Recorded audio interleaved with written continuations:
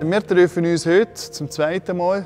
Wir haben heute ein abteilungsübergreifendes Mostprojekt, also ein Mostverwertungsprojekt. Das haben wir schon einige Jahre, ist das im Gang bei uns bei Gemeinde Uhren. Und der Sinn ist eigentlich, dass wir abteilungsübergreifend, dass wir das Obst verwerten und dass man auch kann, außer unserer Arbeitszeit ein bisschen auch Kameradschaft pflegen, einmal auf eine andere Art. Hier sind wir eine Relle gewesen. Rundum haben wir hier eine wunderschöne Streuobstwiese. Und wir sehen jetzt hier die Blauen. Wir haben vorher geschüttelt, wie ihr sicher auch gesehen habt. Geschüttelt haben wir nur, weil nachher das Obst geht in einer Stunde, haben wir schon den Termin beim Moster.